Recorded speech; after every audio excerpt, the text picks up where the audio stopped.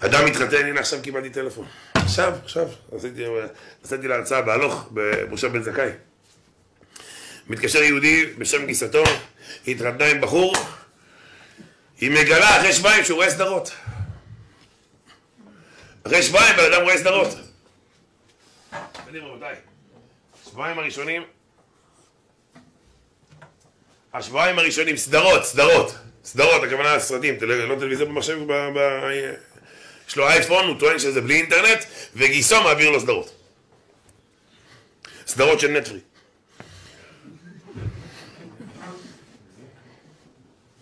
מעביר לו סדרות. היא מספרת, הבחורה הזאת, היא כלה צעירה, רבותיי, יש פה חבר'ה חתנים צעירים, אני בטוח. אתה יודע, בהתחלה הבחור לא מספר לבחורה כלום. איפה היה שהיה בחור ונפל, ו... לא, מספר לה מה יש לך. למה היית בארבע ישיבות? כולם רבו עליי. כן, נכון.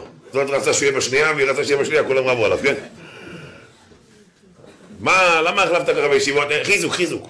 עשיתי להם חיזוק. הרבה בחורים. הלכתי לחיזוק. תגיד שהעיפו אותך. הלכתי לחיזוק. רבותיי, אבל זה החונדול הזה. לא שמעתי אותו, כן, שמעתי צד אחד, אבל לפי איך שמסבירים את הדברים. לכן אמרתי, אני לא יכול לפסוק, אני רוצה לשמוע גם את הצד שלו, צד שלו. היא שואלת מה לעשות. היא אומרת שהבן אדם אחרי שבועיים מודה לה שהוא מכור לסדרות.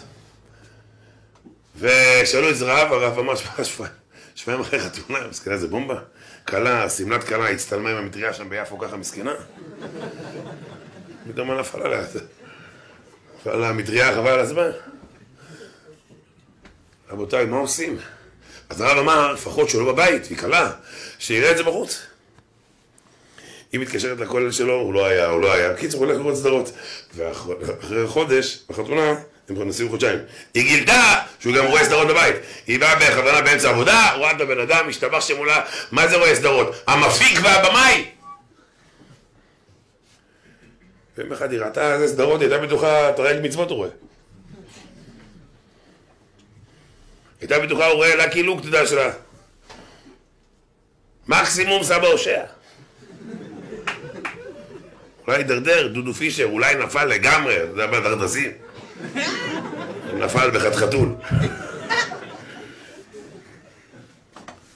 רבותיי, הוא רואה סדרות איומות ונוראות, וזה לא מזיז לו. וואי, וואי, וואי.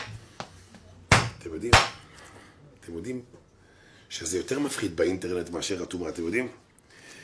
הוא אומר לה, מה את רוצה? את יודעת איפה הייתי בעבר? עכשיו הוא רואה סדרות לא צנועות, לא אה-אה-אה, אבל לא צנועות, אבל לא אה-אה. והוא אומר לה, מה, זה עוד בסדר, כאילו עשיתי תשובה. רבותיי, זה האינטרנט, מעוות מוח. סיפרתי לכם על היהודי בן 70 שנפטר? סיפור, רבותיי, טרי, מה זה טרי? טרי טרי לפני שנה. יהודי שסיפר לי שלמעלה, בן אדם שלמעלה מחצי שנה היה חולה אנוש עד שהוא נפטר. נוסעים להלוויה שלו, הנהג גם אח שלו, בן 72, עם זקן גדול, ענק. ואומר לבחורצ'יק שלידו, שזה אחד שסיפר לי את הסיפור, בוא בוא תראה איזה סרטון. מראה לו באייפון סרטון, השם ישמור ויציל. אומר לו, תגיד לי, אתה נורמלי? מה אתה מראה לי כאלה דברים? מה אומר לה, הוא בן 70, 72? אומר לו, יאללה, שטויות, מה? רואים בשביל הסקרנות, לא עכשיו נכנסים בפנים, מה אתה? תראה, תעביר הלאה, מה אתה בלגן? בשביל הסקרנות, תראה, זה מעניין. אמר לו, בואנה, זה השם ישמור ויציל, זה יריב ואל יעבור, זה טובה.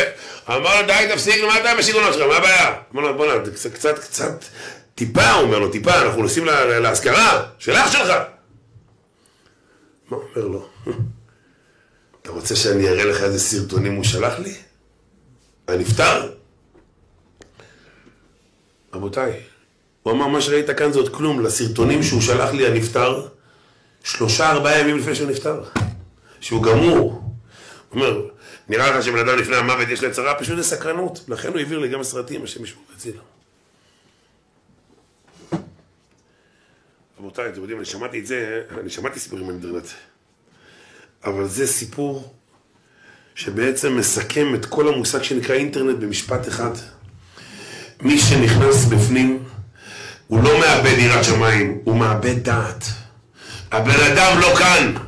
הוא יכול לראות דברים איומים ונוראים, אבל הוא בסדר, זה אין בעיה. זה מה, את יודעת איפה הייתי מקודם? מקודם, זה יצרו, עכשיו את יודעת, זה פרסומת של יצרו. מתי זה איום ונורא?